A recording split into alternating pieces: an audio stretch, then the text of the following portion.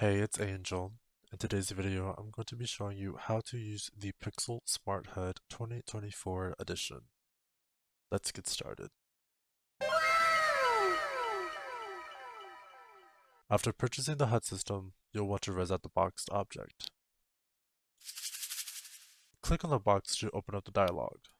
Next, click Copy to Inventory. You'll receive a folder named PXL SmartHUD boxed that contains all the scripts needed to make your HUD. Before we begin, we have to make important changes to the properties of your scripts. We'll have to make them copy only. Go ahead and right click on the config HUD script and select properties.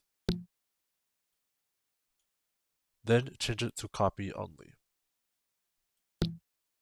You'll want to do this for four scripts. The config HUD script, the config receiver script, the smart HUD root HUD script, and the smart HUD root receiver script.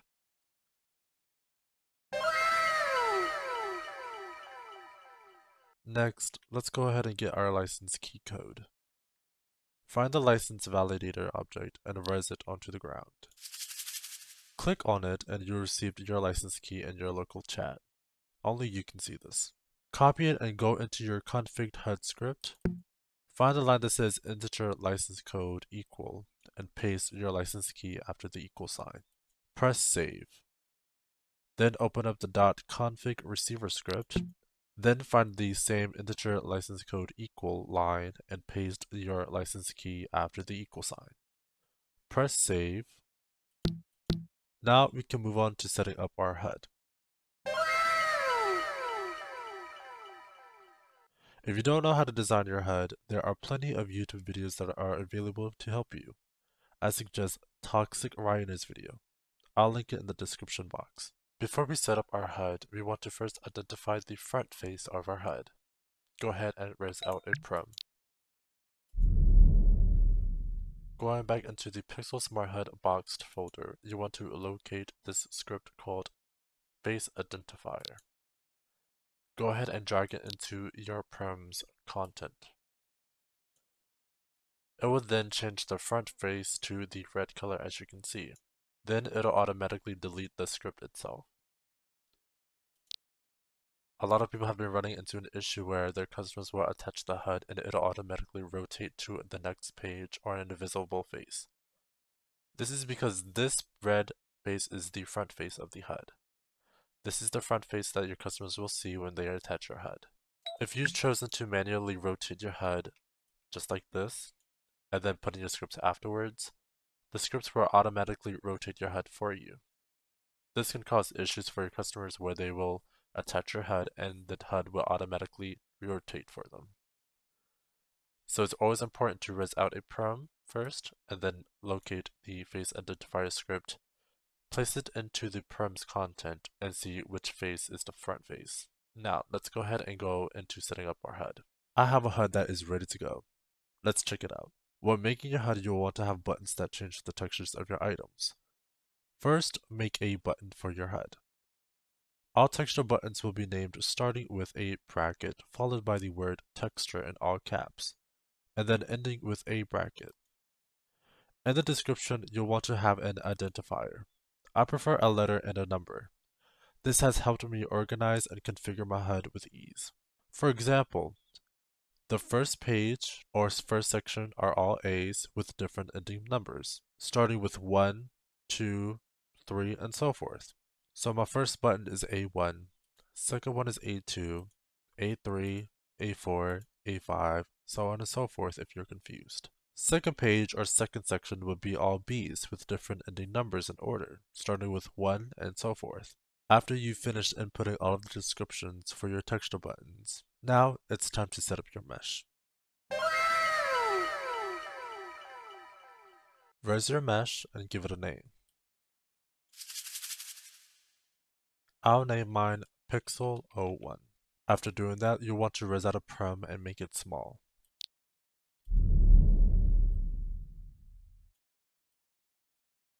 This prim will be linked with your mesh. To do this, first select your mesh and then the prim. Click Link. Now the prim is the parent and the mesh is the child. This is indicated by the outlines. Parent is outlined in yellow, and child is outlined in blue. This is important because you need to be the owner of the mesh. Next, you can rename it to whatever you want your customers to see. Make sure to change the properties to copy only. Now, let's start scripting our HUD. Now, select your HUD and go back to the PXL SmartHUD folder. And now we're going to drag the config HUD script into the contents of our HUD. Let's go ahead and open up the script. Find where it says product name and input a name within the quotation marks. It does not have to be the same name you use to name your mesh. This is what the HUD uses to communicate with objects that contain the config receiver script with the same product name. I'm going to give it the name tutorial 01. Next is inputting your textures into the script. What if I told you there was an easier and faster way to input your textures into the script? Whether you have 20 or 50 textures, this workflow is pretty easy. Before we get started, you want to make sure your textures are named in order. I use numbers to organize my textures based on my HUD. For me, black is 1, the next color is 2, and so on and so forth. This will make this workflow 10 times easier. After you name your textures in the same order as it is on your HUD, let's res out a prim. Going back into the PXL SmartHUD folder, there is a script called Texture UUID List Generator. Drag that into the content of the newly resed prim. Next, drag your textures into the content. Then close out the edit tool and click on the prim. It will generate all your textures in the order you've numbered them into the format that the script can read. Only you can see this. Go ahead and copy the first line all the way to the last line of your texture.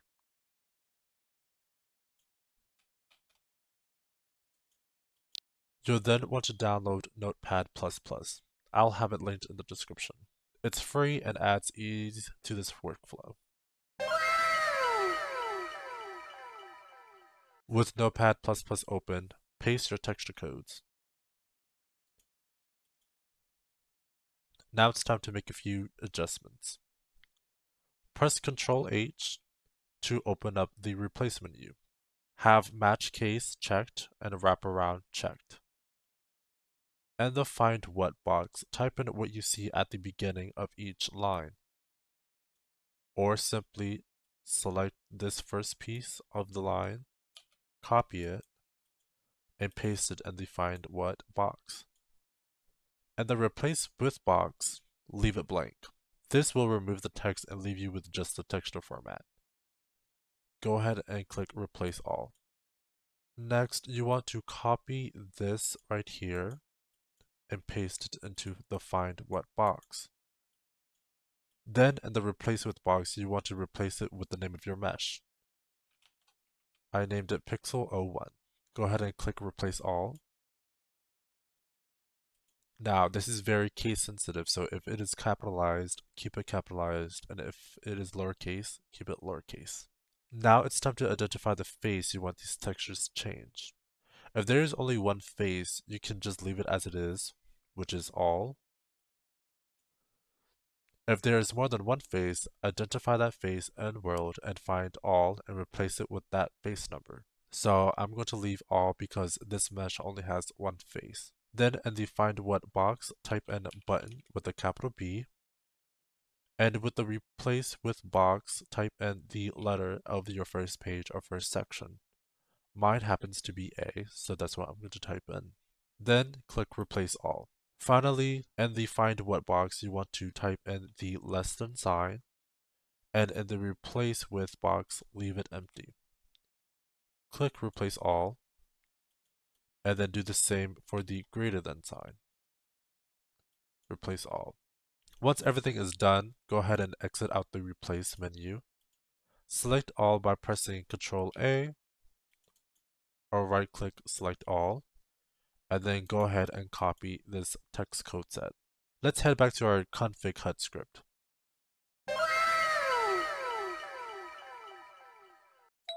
Go ahead and right click your HUD go to the config HUD script and open it. Then you want to scroll down to where it says list textures with brackets. Within that bracket, you want to press enter and then paste your texture code set. At the end of the line, you want to add a space and click save. Make sure the last line does not end with a comma. The comma indicates that there's more after this line. So if there's another line, go ahead and place a comma right here. But if this is the last and final line, there should be no comma and just add a space. Click save. Now let's drag the .config receiver script into our mesh. Make sure edit linked is unchecked. This script should go into the parent object, which is the prim. Open up the config receiver script and make sure the string product name is the same one as the config HUD name, which is tutorial 01 for me. This is also case sensitive, so it should match. Hit save. To finalize everything, go back into the contents of your HUD, drag the Smart HUD root HUD script into it, and then click on your mesh and drag the SmartHUD root receiver script into the contents. To really finalize everything, make sure your buttons are 100% opacity so it's invisible, and then shift click your HUD and then link it. Your HUD should be outlined yellow and your buttons should be outlined blue. Do not forget to make your prim invisible as well. Now we can go ahead and test our HUD.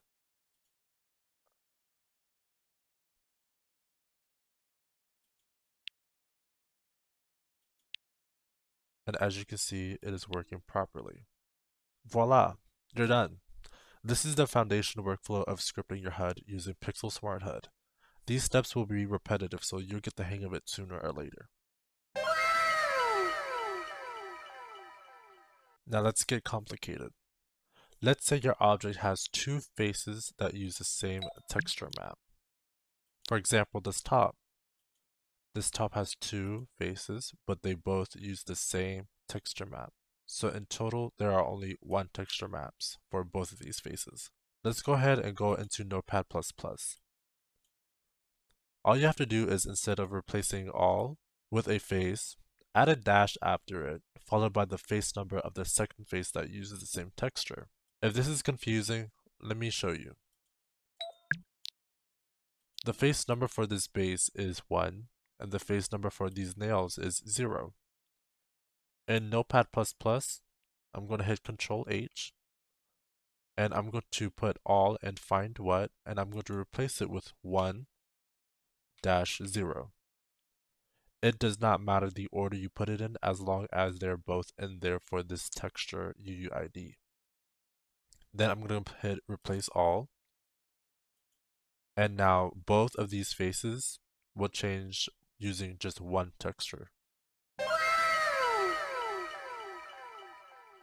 Now let's say your object has two faces that use two different texture maps, but you only want one button to change both of them. Simply do the same steps, but have the button letter be the same for both texture code sets. Let's go into Notepad++, and as you can see, these are two different texture code sets.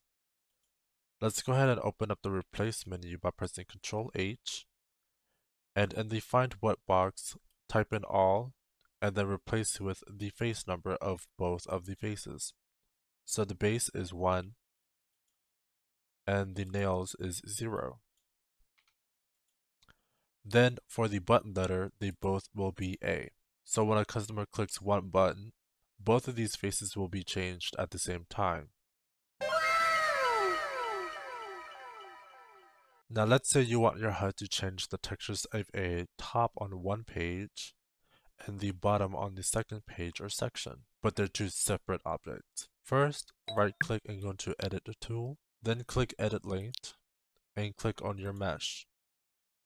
Then give your mesh a name, so I'm going to give this mesh the name top 1 and then still an edit linked. Click on the bottom and give it a different name, bottom one. Then all you want to do is give both of these objects the same config receiver script with the same product name as the config HUD. So for this one, let me go ahead and get out of edit linked and make sure it's selecting the parent. Go into content, drag the config receiver script into the content. Make sure this is named according to the same product name as the config HUD, so tutorial 1. And then for the bottom, drag the config receiver script into the bottom and give it the same product name, tutorial 1. Hit save. Then in Notepad++, replace dest prim name according to the name of the objects. I'm going to hit Control H, copy this, and then find what box you want to go ahead and paste it. And then you want to replace it with the name top or one for me. Then in the second texture code set, you want to replace it with the bottom part of the mesh. Then for button, you want to go ahead and type in button and find what, and then replace it with the letter of the page. So the first page would be A, second page would be B. And then you would do the same steps to finalize everything, remove the less than and greater sign, and then copy and paste it into the HUD, the config HUD script. Hopefully that covers the basics to the most confusing part of using PXL SmartHUD. Now onto the buttons I have on my HUD. Extra buttons on your HUD that you can have are detach or close buttons, URLs, pages, etc. For now, I have the detach button and page buttons. For detach, you want to name it by starting with a bracket followed by the word detach in all caps, and then ending it with a bracket. For pages, the buttons should be named starting with a bracket followed by the word go to face, no space, and then ending it with a bracket. In the description for the page buttons, you would identify what face it should go to. First page is face 4, or the front of the HUD is face 4. Second page could be face 1 depending on whether you wanted to rotate left or right. Rotating right would be 4, 1, 2, 3. Rotating left would be 4, 3, 2, 1. You could have a total of 6 pages if you include the top of your HUD and the bottom face of your HUD. If your HUD isn't a square, then you are limited to only 4 pages. That should be all. Hopefully this video helps you. If you have any questions, message me on Discord at vietement. Thank you and see you next time. Bye. After you finish putting after you finish after you finish inputting all this description what the fuck